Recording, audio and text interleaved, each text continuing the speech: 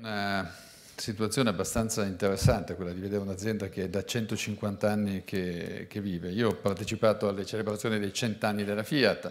adesso i 150 della, dei ritacciamenti. Mi auguro di partecipare non nella stessa posizione, ma ai 200 anni delle Generali, perché alle Generali siamo già a 180 anni.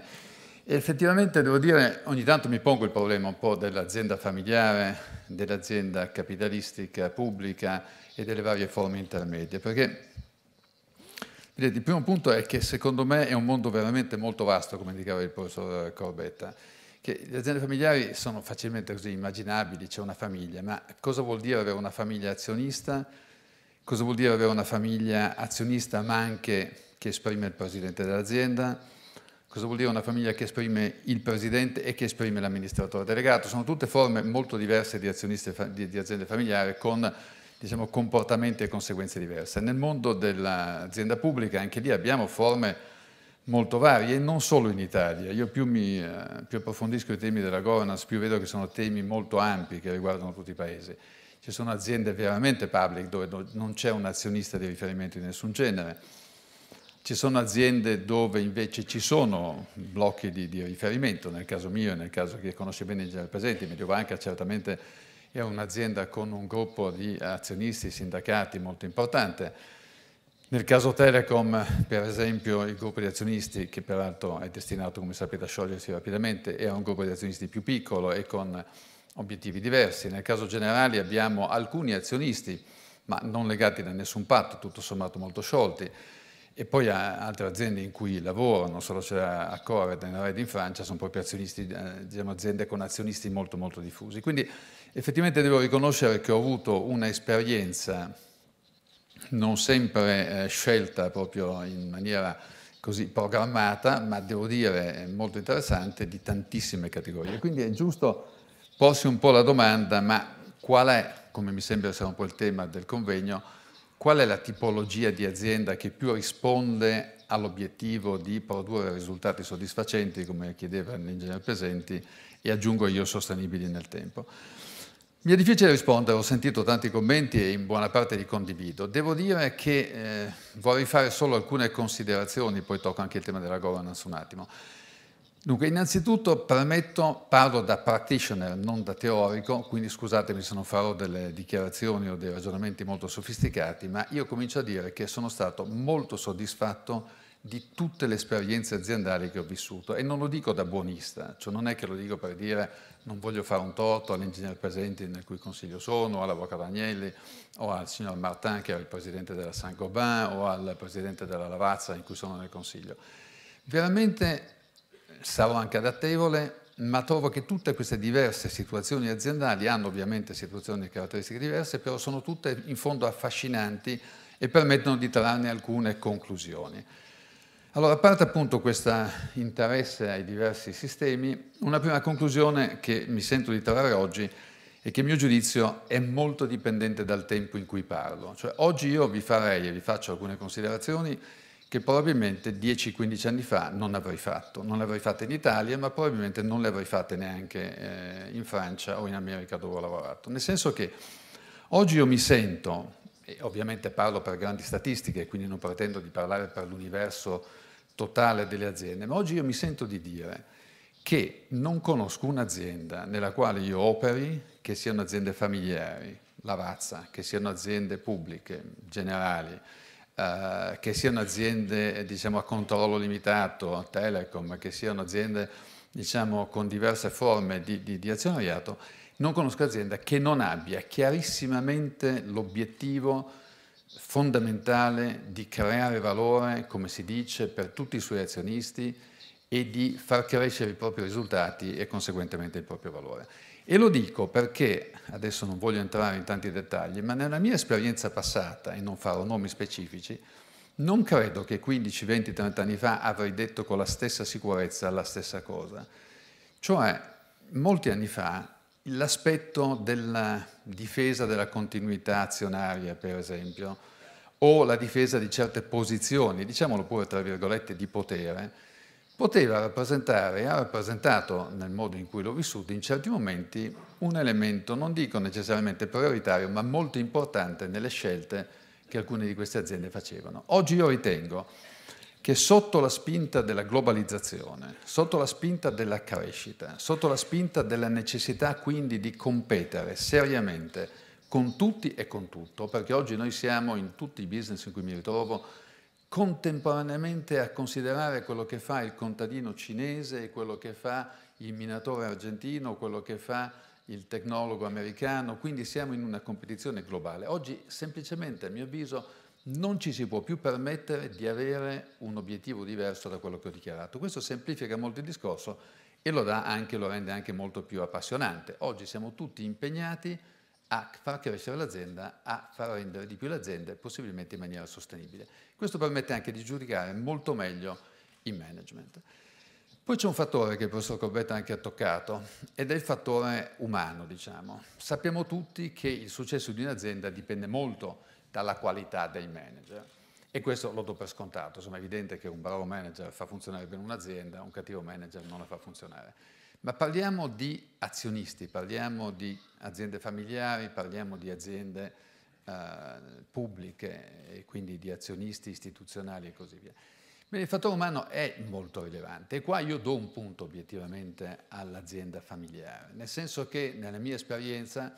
quando ho lavorato, non so, alla Saint-Gobain, obiettivamente i miei rapporti erano con Roger Martin, con Roger Fourou, grandissimi manager francesi, molto interessanti, molto validi, però erano rapporti molto freddi, asettici direi, cioè si parlava del business dell'azienda, dei piani, dei budget dei risultati. Devo dirvi, l'ho detto tante volte all'Ingegnere Presenti, il rapporto con l'avvocato Agnelli o con Umberto Agnelli, con cui ho passato 25 anni della mia vita, beh, insomma, era obiettivamente una cosa un po' diversa. Io avevo l'abitudine, non per scelta mia, devo dire, ma per scelta loro, con Umberto Agnelli, tutte le mattine alle 9 del mattino, quando arrivavo in ufficio, passavamo un quarto d'ora, mezz'ora insieme prendendo un caffè ed era un momento straordinario, perché era un momento in cui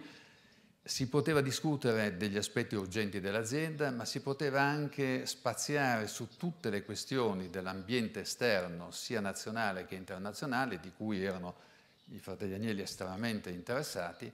e quindi cogliere tutta una serie di evoluzioni politiche, economiche, sociali, culturali, artistiche, che per me rappresentavano un'enorme aggiunta di valore poi nel mio lavoro e nella mia scelta quotidiana. Con l'avvocato succedeva invece molto di più spesso al mattino presto e soprattutto nei weekend, quando tendenzialmente sarei andato a sciare, ma arrivava la, la telefonata classica, che cosa c'è da fare, ovviamente anche se avevo un altro programma non c'avevo niente da fare, quindi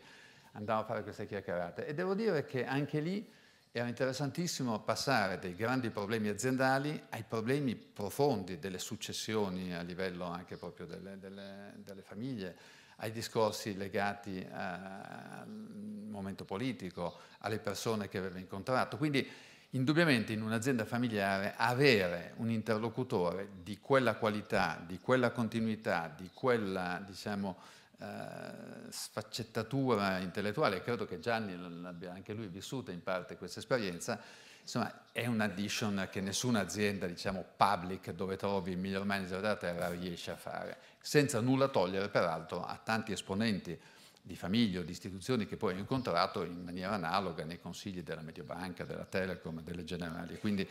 l'aspetto diciamo, di durabilità e di eh, continuità e di cultura e di apertura al mondo che possono avere certi capostipiti familiari, francamente è difficile ritrovarlo uguale in manager che magari sono stratosfericamente eh, capaci, sono di grandissimo successo economico.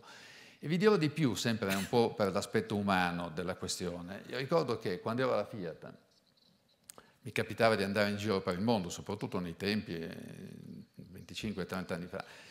e ho apprezzato cosa vuol dire avere un proprietario di un'azienda che è un leader oltre a essere un uomo. E cito un, sempre un caso che, che mi colpì, appena arrivato alla Fiat venne mandato nel 77-78 venne mandato in Sud America perché eh, stavano succedendo grandi pasticci in alcuni paesi, in particolare in Bolivia stavano eh, creando una contestazione alla presenza della Fiat in quel paese. Arrivo lì, ero appena entrato alla Fiat, molto poco esperto, mi trovo in una piazza davanti a una pila di trattori Fiat pronti per essere messi alla rogo e francamente non sapevo bene che pesci pigliare. Quando ci è venuto spunta un signore incredibile, abbastanza rozzo come aspetto, si piazza davanti a staffare qua, davanti a questi dimostranti che vogliono appiccare fuoco e col suo corpo fisico impedisce a questa gente di appiccare fuoco. Io rimango veramente esterefatto, dico ma chi è sto qua, cosa, cosa combina? Gli parlo e lui mi dice, guardi, dottor Galateri, lei non mi conosce, io mi chiamo come dottor Sclaverano, eh, io sono qua e difendo questi trattori perché due anni fa l'avvocato Agnelli passò di qua e mi affidò la presenza della Fiat in questo paese. Io non lascerò la Fiat essere attaccata nel paese e non la lascerò abbandonare il paese. E io capii allora cosa voleva dire all'epoca il rapporto del management o della, diciamo, della, della, della, gente che lavora in un'azienda quando riesci ad avere un capo, lo identifichi, lo conosci, un capo che ci ha messo la faccia, un capo che ci ha messo i soldi, un capo che ci ha messo eh, diciamo, tutto il suo sforzo ed è pronto probabilmente anche lui a dare la vita per un'azienda. Quindi l'aspetto umano è molto importante. Però l'aspetto vero che, su cui mi sollecitava um, Gianni è che alla fine, proprio in relazione a questo convegno, un po' estratto da, da, dalla riflessione delle mie esperienze, quando mi sono detto, ma quale di queste aziende in cui ho vissuto, la Saint-Gobain, la Fiat, Mediobanca, la Telecom, la Lavazza e tante altre, l'Azimuth Benetti e così via, qual è il, il, diciamo, l'elemento su cui potrei dire una è meglio dell'altra in funzione dei risultati che ho visto raggiungere o che vedo raggiungere? Ed effettivamente eh, la mia risposta è la governance. Ora, non è perché sono anche il presidente del comitato di governance della borsa, di cui fa parte l'illustre Riccardo Pesenti, ma veramente l'unica cosa che riesco a individuare che può essere tale da garantire, diciamo meglio, è necessaria, anche se non necessariamente sufficiente, a far funzionare bene un'azienda familiare o un'azienda pubblica, un'azienda a controllo limitato o un'azienda a controllo diffuso, è il fatto, intendendo per governance qualcosa di abbastanza più completo e complesso di quello semplicemente, diciamo, magari prima accennato inevitabilmente dal professor Corbetta. Governance intesa come strumenti, principi, regole che fanno funzionare l'azienda, che partono dalla composizione del consiglio, presenza di indipendenti, come avete accennato, presenza di membri non della famiglia o della famiglia, e scendono attraverso i rami funzionamento dei comitati, funzionamento dei, dei rapporti tra, tra, le varie istituzioni interne, area dei controlli. Io sono molto ammirato, devo dire, quando vedo aziende familiari che sono molto più avanti nell'applicazione delle regole della governance rispetto a molte aziende quotate. E mi fa piacere di vederlo perché capisco che hanno anche loro capito che questo tipo di impostazione, di organizzazione, non è soltanto per far piacere al codice di autodisciplina, alla Consob, all'IVAS o alla Banca d'Italia, è perché è fondamentale. E se vogliamo parlare soprattutto di risultati non solo uh, soddisfacenti, ma anche sostenibili, credo che questo aspetto sia assolutamente ineluttabile. Non so se magari c'è un secondo round dove poi posso spiegare un pochino meglio che cos'è questo discorso e soprattutto farne vedere anche lì l'evoluzione, perché devo dire che in questo senso l'Italia è un paese assolutamente best in class. Ero a Davos l'altro ieri, incontravo, e chiudo con questo, il eh, presidente di Barclays, che è questo David Walker, autore di uno dei più importanti codici di autodisciplina che ci sono in giro in Europa in questo periodo, gli ho dato i nostri documenti dell'ultimo rapporto approvato in dicembre sul monitoring dell'autodisciplina, l'ha letto, mi ha detto Gabriele siete veramente best in class, vorrei continuare a lavorare insieme a te, insieme a voi, per portare avanti anche in Inghilterra i temi della governance.